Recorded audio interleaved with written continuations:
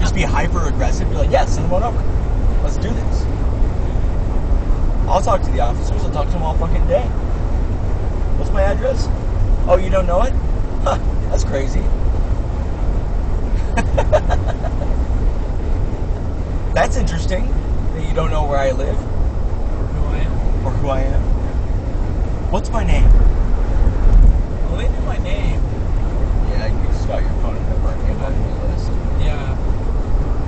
And you know, they might even have the address. I don't know, but I wasn't Yeah. going to give them any information. I wasn't going to verify anything. You know. All they're trying to do is just social engineer a way into getting more information out of you over the phone. They just want you to fill out paperwork with them. Later on, I started worrying that maybe that you know Tawny owed something that was turned over to collection agency. You know, but she shouldn't. And the only thing that would happen, she she would still have would be medical bills, and those all went away when she passed away. But I will tell you this: you know that the hospital tried to bill us for stuff that happened after she passed. Yeah, you told me that.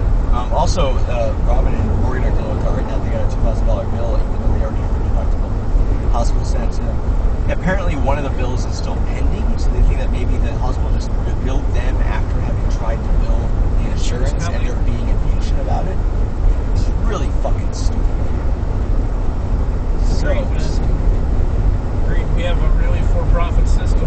Well, it's just like, yo, chill. You know that they're processing it. Just, like, stop. You know, your mom had gone to that doctor in Coolidge for her job, okay? Because it was hurting. Yeah.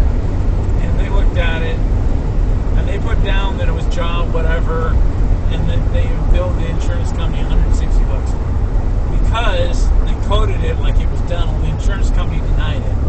Right. Okay. We went back and forth between them and the insurance company until they turned that bill over to a collection agency. You couldn't get that fixed? No, I finally paid it. Really? I finally You couldn't have paid the it. doctor just recode it? Nope.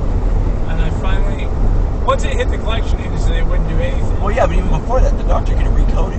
You should have, but your mom would have been kind of had to have bugged them constantly to do anything. No, you just bug them once or twice. Oh, not that doctor, dude. When your mom was up in Idaho, right? Yeah. She couldn't get them, her, them to send her her medical records. And I would have fucking. It was ridiculous.